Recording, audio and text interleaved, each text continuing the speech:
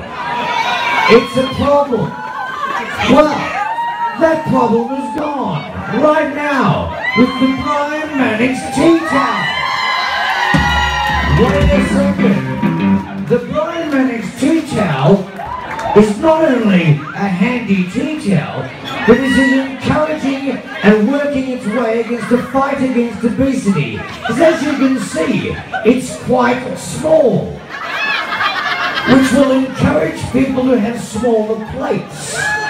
So therefore, eat smaller portions of food. So it's good for that. But wait, there's more. The Brian Mannix tea towel is not just a tea towel, it also doubles as a giant snot rag. It's an emergency poo wiper. Oh, I'm out of toilet paper. Use my face, it'll be fine. Check your oil.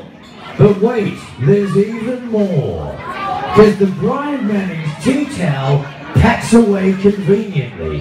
Now normally, how much would you expect to pay for a tea towel, Dan? Hundred hundreds, Possibly hundreds. hundreds and hundreds of dollars is what you'd normally pay for a tea towel.